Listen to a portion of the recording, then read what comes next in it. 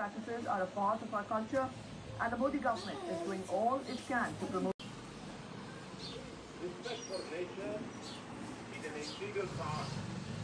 Our traditional practices contribute to a sustainable lifestyle.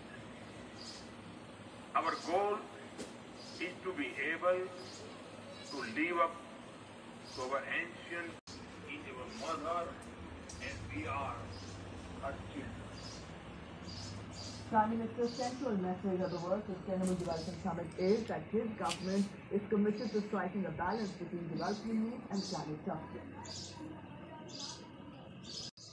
Our development needs are enormous. Our poverty, our prosperity will have direct impact on the global poverty or prosperity. People in India have waited too long for access modern amenities and means of development.